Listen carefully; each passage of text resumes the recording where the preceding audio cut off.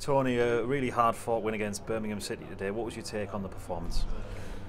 Oh well, I thought we started really bright, really good. I think we, uh, you know, we could have scored early. Had um, a great one, great opportunity that was a brilliant block from their defender, but um, and then they go up the other end and score, which flattens everything a little bit. We they they sort of sat in a mid block, made it difficult for us to get through that first press of theirs, and. Um, So it was a bit slow and pedantic, if, uh, if anything, I felt. And yet we had flashes and moments of, of magic, really. You know, Robertson Diallo linking and joining and, and, and you know, a chance. It was, um, but they were a bit sporadic. And we talked at half-time because we scored the goal bang on half-time, which gave us the belief and confidence that we were going to go on and win the game, really. And um, I just wanted them to get engrossed in the football match and, and make it not personal individually, but go and get the fans, you know, right up for the game and um, and go and believe that you're going to win. And, and thankfully we did. Three huge points for us and everybody's really looking forward to Tuesday already now and uh, another game that we need to approach in a similar manner and um, be really positive, aggressive and see if we can get another three points. The man who will obviously get the headlines is Amad Diallo. Um, guess you have run out of superlatives for what he can do on a football pitch.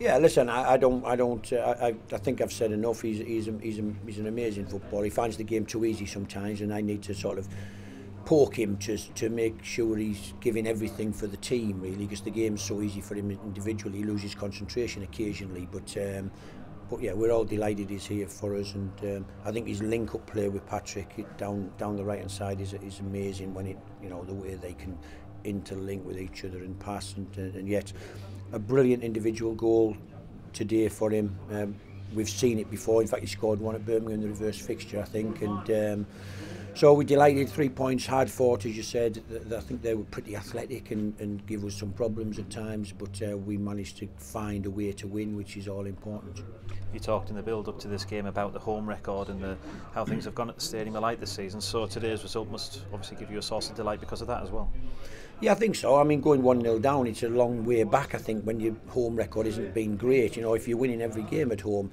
it doesn't matter going 1 0 down. You know you've still got 60, 70 minutes to go and score goals. And. Um, and yet there was a bit of confidence about the team today that we felt we could do that and uh, particularly when we scored in the, the end of the first half it was really important for us and give everybody the belief at half time that we would go on and win the game and and ultimately that's what happened and um, you know we had to unfortunately finish with 10 men and it was a bit the last 10 minutes were difficult for us, of course, as they were gambling and a lot of big players and putting a lot of balls in the box, but we found a way to see it out. And, um, you know, I've just said if, if we'd have seen out the whole game, we'd have been sitting in, in the playoff positions now. But um, let's keep going. Is it four games to go? We should look forward to them and, and, and just test ourselves and see how we get on. special moment for Trey Hume as well. And then in the last two games, you've asked him to do a slightly different role. How, how do you feel his performances have been as well? good, steady. I, I feel as if he can he can play anywhere really. Trey, to be honest, I've asked him to play in midfield at times. I've asked him to push really high and flick balls on and from goal kicks. I've asked him to play outside of a centre a centre back three. So um, and he takes it on board. He enjoys it. He, he just sees it as his, as the growth program for him really that he can do it he's got the all the attributes to do it he's athletic he's good with the ball he's competitive uh, I, I don't worry about Trey wherever we ask him to play Just finally, you mentioned there a point outside the playoffs. You mentioned that you wanted already looking forward to Tuesday night games. It, it feels like momentum's been built at the right time in the season.